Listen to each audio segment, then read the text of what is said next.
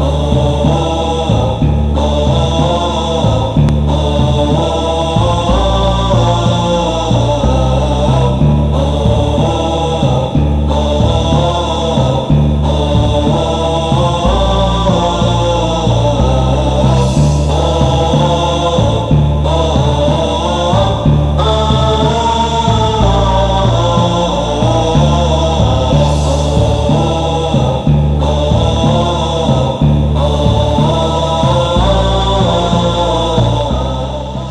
دعاء للدخول على ظالم.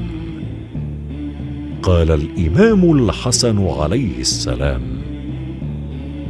بسم الله الرحمن الرحيم.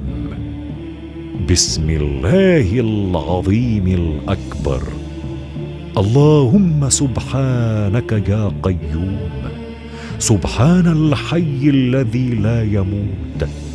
أسألك كما أمسكت عن دانيال افواه الأسد وهو في الجب أن تمسك عني أمر هذا الرجل وكل عدو لي في مشارق الأرض ومغاربها من الإنس والجن.